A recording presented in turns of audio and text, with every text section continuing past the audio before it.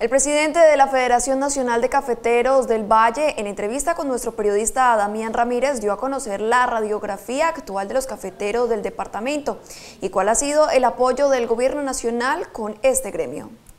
Cerca de 203 mil millones de pesos es lo que el gobierno nacional ha girado al sector de los caficultores para fortalecer su producción en el país. Aún así, las directivas de la Federación Nacional de Cafeteros aseguraron que hace falta otras acciones para sacar adelante este gremio.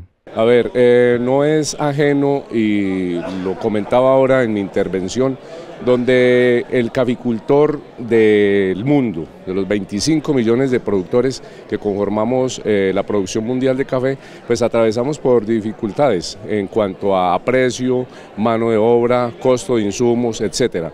Pero pues eh, gracias a la representación que tienen los caficultores con la federación eh, este gremio pues hace la eh, cercanía con el gobierno nacional para lograr desde allí unos apoyos directos al caficultor. Entonces, a diferencia de otros productores a nivel mundial, el productor colombiano sí goza de, un respaldo eh, en lo institucional con vía fertilizantes, que es una forma de cómo se apoya en el momento en cuanto a renovaciones.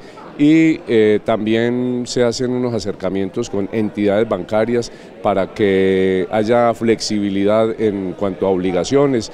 Y también en cuanto a lo departamental, nosotros como miembros del comité departamental hemos apropiado unos recursos importantes que en asocio con alcaldías eh, vienen directamente para el productor.